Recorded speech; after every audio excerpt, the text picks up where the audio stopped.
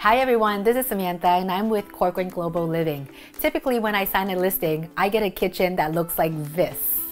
When I'm done with it, it looks like this. Check out these brand new countertops.